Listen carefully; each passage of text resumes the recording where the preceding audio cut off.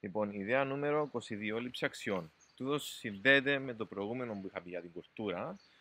Θεωρώ ότι η έλλειψη αξιών, στην ουσία η έλλειψη σεβασμού, ε, παίζει ένα σημαντικό ρόλο και εκτός του του, θεωρώ ότι οι δάσκαλοι μέσα στην τάξη στέκονται περισσότερο στη γνώση, μεταδίδουν περισσότερο τη γνώση παρά μεταδίδουν τις αξίες.